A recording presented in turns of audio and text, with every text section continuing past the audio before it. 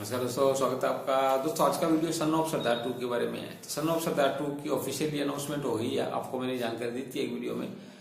Ajay Devgan sir जून में film की shooting शुरू करने वाली है और जून में ही वो दे दे दे to they they they to उसकी भी मतलब शूटिंग शुरू करेंगे। तो ये एक दो बड़ा एक एक जिज्ञासा इस समय चल रही है इस फ़िल्म के बारे में कि क्या सनी सर इस फ़िल्म में होने वाले हैं।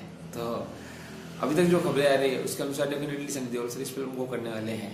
हालाँकि देखो, आपको बता दूँ कि अभी इस समय सनी देओल सर लाहौर 1947 में पूरा व्यस्त है। उसकी में पूरी शूटिंग कंप्लीट करने में लगी हुई है, जो मैक्सिमम मतलब सितंबर, अक्टूबर तक रेपअप हो जाएगा शूटिंग का कंप्लीट हो जाएगी। सिक्सटी परसेंट से ज़्यादा शूटिंग हो चुकी है।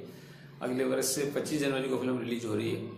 उसके बाद में सन ऑफ़ सरदार टू और रामायण दो फ़िल्में हैं जिनको सनी देओल सर टाइम दे सकते सफ़र और बाप। फ़िल्में उनकी कंप्लीट है लगभग तो वो कब रिलीज़ करेंगे? ये अभी रिलीज़ डेट अभी तक सामने नहीं आई है। लेकिन अगर सन ऑफ़ सरदार टू में सनी देओल सर होते हैं तो फिर ये बहुत बड़ी बात हो जाएगी और ये फ़िल्म बहुत बड़ी बन जाएगी, अपने आप में बहुत बड़ी बन जाएगी। क्योंकि सनी देओल सर का रोल यहाँ पे थोड़ा सा नेगेटिव टच लिए हुए होगा। हालाँकि पूरी तरह से विलन नहीं लगेंगे वो इसमें, लेकिन अजय देवगन सर के अगेंस्ट में ज़रूर खड़े होते हुए दिखाई देंगे। अब वो एक एजे एजे मतलब संजय दत्त की तरह से, जैसे संजय दत्त ने फ़र्स्ट पार्ट में रोल किया था तो उस तरीके से नज़र आते हैं, या फिर अलग तरह की कोई स्टोरी डाल करके एक अलग एंगल डाला जाता है। लेकिन इतना ज़रूर तय है कि ये रोमांटिक कॉमेडी एक्शन मूवी होगी।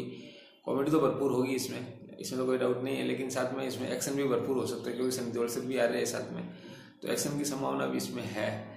तो अगर सनी देओल सर और अजय देवगन सर साथ आ जाते हैं इस फ़िल्म में तो फिर दोस्तों ये फ़िल्म जिस दिन स्टारकास्ट की अनाउंस होगी जिस दिन देओल सर का ऑफिशियल अनाउंसमेंट हो जाएगा, उसी दिन ये फ़िल्म को आप लिख लीजिएगा कि ये फ़िल्म ब्लॉकबस्टर होने वाली है बॉक्स ऑफ़िस पर, क्योंकि आप जानते हैं कि काफ़ी ज़बरदस्त सनी देओल और अजय देवगन सर की फ़ैन फॉलोइंग बहुत ज़बरदस्त है, और गदर टू के बाद में सनी देओल सर का नाम काफ़ी आगे है, और अभी शैतान की जोरदार सफलता के बाद में अजय देवगन सर भी, आप जानते हैं कि बहुत बाजीराव सिंघम भी आ रहे हैं। तो डेफिनेटली दोनों कलाकारों को एक साथ अगर एक एक्शन कॉमेडी मूवी में लोग देखेंगे तो ये फ़िल्म बॉक्स ऑफ़िस पर हंगामा ज़रूर मचा देगी, ऐसा मेरा मानना है।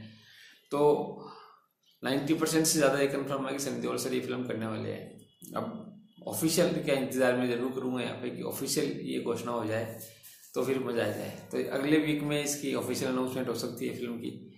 कि ऑफिशियल स्टार कास्ट भी सामने आ सकती है। उम्मीद करिएगा कि सनी देओल अजय देवगन सर हमें देखने को मिले एक साथ इस फ़िल्म में। चैनल को सब्सक्राइब कीजिएगा। जय श्री राम, जय बल्ला